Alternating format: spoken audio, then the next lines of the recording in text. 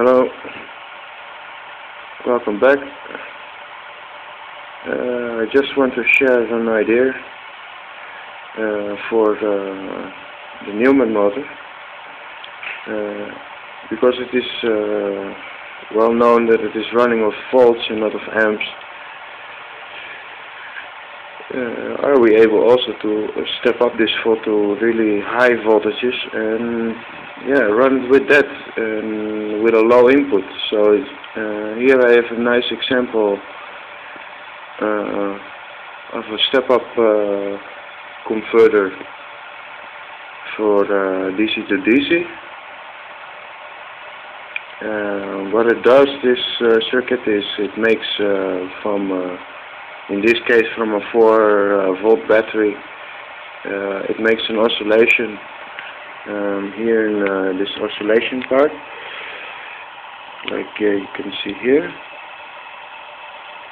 Two transistors.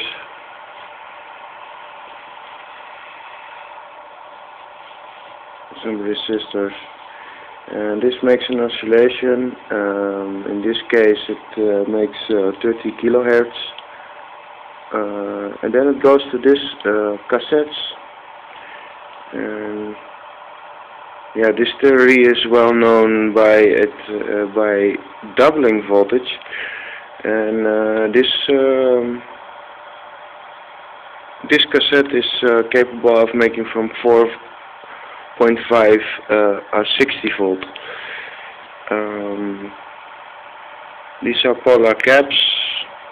Um, in this case, rated to uh, 30 uh, one uh, one UF uh, one microfarad and 63 volts. this is scalable, so we don't have to hold on something. We can make a very strong version of this with the uh, 30, 50, 55 uh, transistors. Um, yeah. I just run into this, so yeah. Maybe it's an idea.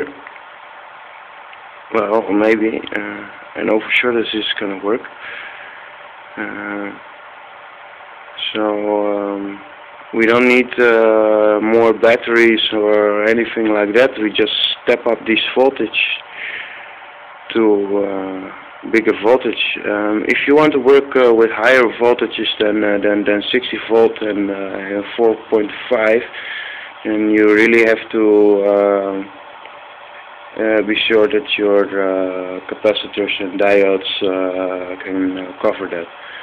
Um, yeah.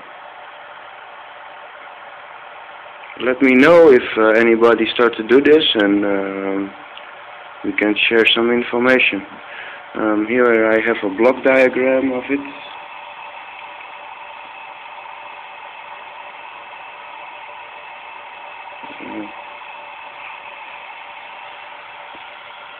This is how it looks like in a picture form. And this is scope. And I have some more information on it? Yeah. Uh, this is a doubler.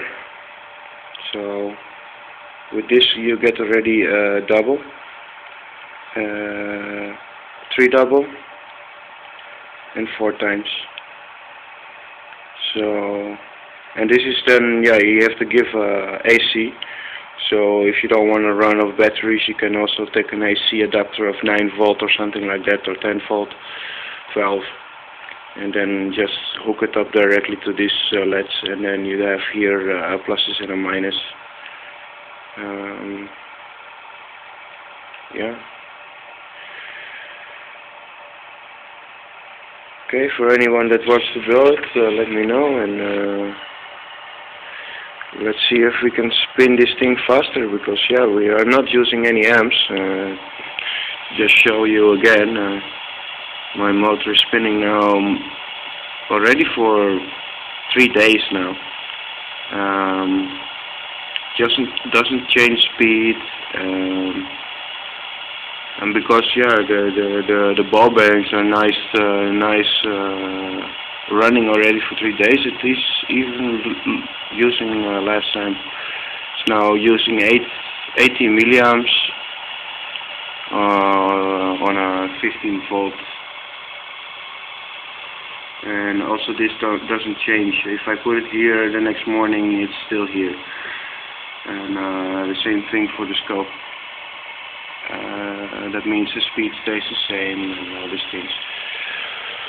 But um, yeah I really want to uh, try this uh, thing I think this will be uh, very very uh, beneficial to uh, get this electric engine because I want to change that word of motor because an electric motor that we know now is really inefficient and um, this motor is more compared to uh, an engine.